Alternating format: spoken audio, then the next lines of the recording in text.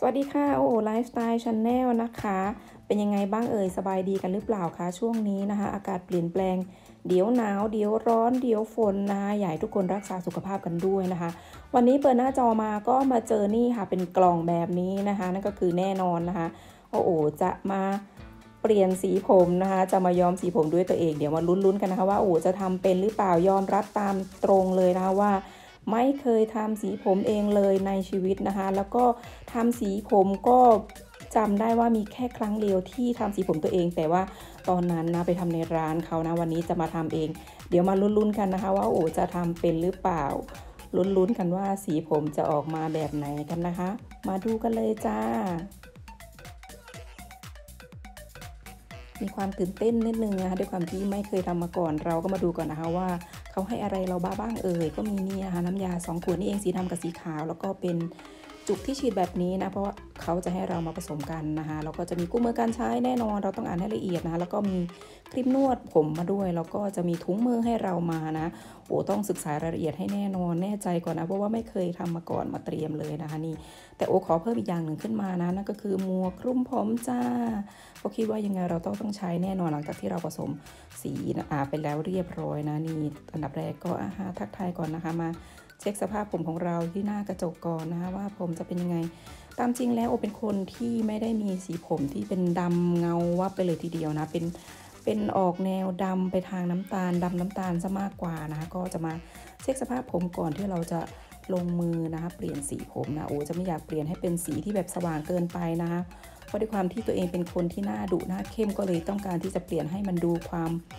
ความน่าดุลดไปนิดนึงนะจะได้ไม่มีความเข้มเกินไป น่าจะได้ไม่เข้มเกินไปดับแรกก็นี่เลยนะคะใส่ถุงมือก่อนเลยนะจ๊ะถุงมือก่อนเพราะว่าเวลาผสมสีสีจะได้ไม่ติดมือนะคะนี่นะคะ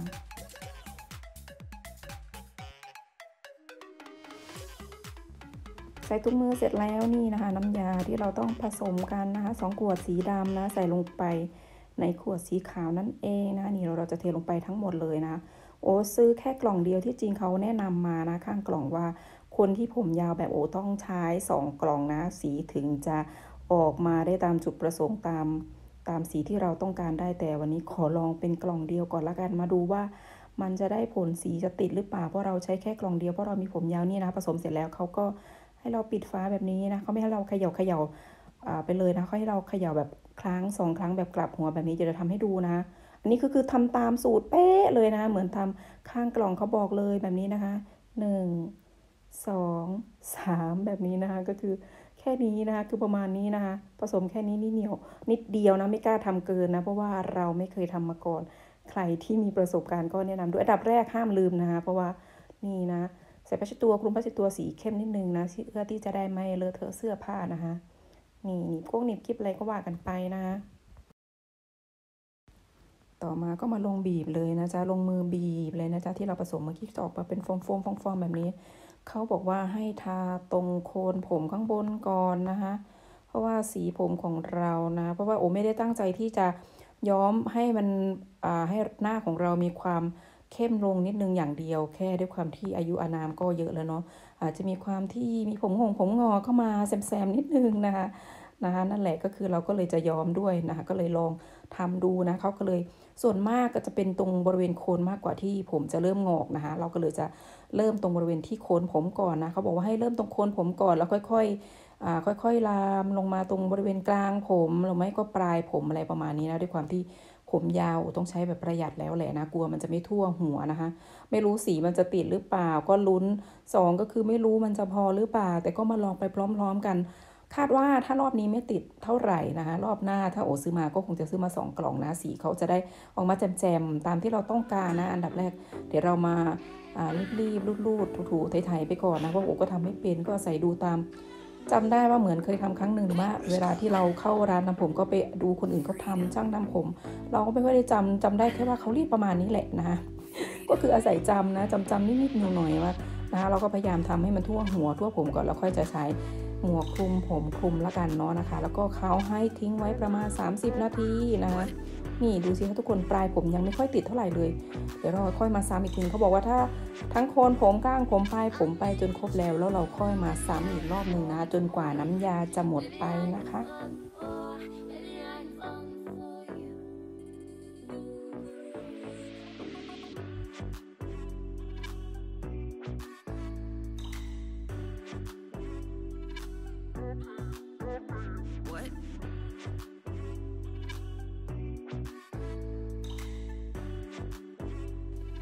นี่เห็นไหมคะก็เสร็จเรียบร้อยแล้วนะจ๊ะต่อไปเราก็จับจ้งดิบคลิปนิดนึงก็จะได้ใส่หมวกคลุมผมนะคะเมื่อกี้ถุงมือก็ใหญ่เธอทาหน้าทา เวลาทาทาน้ำยาลงตรงหัวไม่ค่อยสะดวกเท่าไหร่ถุงมือก็หลวมๆนิดนึงใครมีที่มีถุงมือที่กระชับไซส์เล็กๆหน่อยนะใส่ใช้ของตัวเองก็ได้นะทุกคนนี่นะคะคลุมเสร็จเรียบร้อยแล้วจ้านะคะ30 นาทีนะจ๊ะถ้าเผื่อกระยายเข้มก็ 45 นาทีอะไรก็ว่ากันไป แต่ที่จริงโอ้นะใช้ เกิน 30 นาทีโอ้หมักผมทิ้งไว้เกิน 30 นะทุกคนประมาณ 45 นาทีก็ว่าได้นะคะนั่นแหละเสร็จแล้วโอ้ก็ไปสระทำการสระเรียบร้อยแล้วนะคะ แล้วก็ไม่ลืมที่จะใช้ครีมนวดที่ร้านเขาให้มาด้วยนะนี่นะคะตามในกล่องเขาให้มาจริงไม่ใช่ร้านให้มาผมหมักทิ้งไว้ประมาณ 2 นาทีนะเป็นครีมนวดที่สำหรับคนที่ทำสีผมโดยเฉพาะเลยนะคะนี่ นะเสร็จไปแล้วเราก็สระออกมาแล้วก็นี่แบบนี้เดี๋ยวเราจะทำการไดผมให้แห้งนะออกมาแล้วจ้าสีผมเห็นไหมคะ ทุกคนไม่แตกต่างเท่าไหร่เลยนะ ก็จะมีความดำแต่ยอมรับว่ามันมีความอ่อนลงมานิดนึง ไม่ใช่เป็นดำเข้มเหมือนก่อนที่จะทำนะเป็นดำออกสว่างสว่างนิดนึงนะคะ ก็นั่นแหละ แต่รูปนี้ก็จะออกมาด้วยความที่แสงของหน้าต่างด้วย แล้วก็แอปแอปที่กล้องของเราด้วยก็เลยจะดูสว่างมากไปหน่อยนะคะ แต่จริงๆแล้วก็ลดความดำลงมานิดนึงนะคะเดี๋ยวรอบหน้าโอคิดว่าโอจะใช้สัก 2 กล่องนะคะเขาจะได้มีความสว่างขึ้นมานิดนึงนะคะดูดีไม่เอ่ยทุกคนดูดูสว่างขึ้นมาไหมคะก็ก็ถือว่ามีความรู้สึกว่ามันเปลี่ยนไปอยู่นะนิดนึงนะ เพราะว่าแต่ก่อนหน้านี้ก็จะเป็นสีดำเข้มนะเห็นไหมคะ เราก็จะหน้า ไม่ดูหรือเปล่าคะหน้าจะดูไม่เข้มเท่าไหร่นะคะด้วยความที่คนเอเชียถ้าผมดำถ้าหน้าเข้มหน้าดุก็ยิ่งจะทำแลดูดุนะคะนี่โอใช้สีแบบนี้ตรงกลางเขาบอกว่าถ้าคุณสีดำเข้มแบบนี้นะเวลาย้อมออกมาแล้วก็จะเป็นสีที่สว่างนะคะ ลงมาหน่อยนิดนึงนะก็ถือว่าภูมิใจนะ ยินดีชอบนะ รู้สึกว่าชอบนะ แค่กล่องเดียวสำหรับผมยาวก็ออกมาสวยแค่นี้แล้ว เดี๋ยวเราค่อยมายอมกันใหม่รอบหน้าขอบคุณทุกคนที่มารับชมคลิปนะคะ ลาไปแล้วค่ะ สวัสดีค่ะ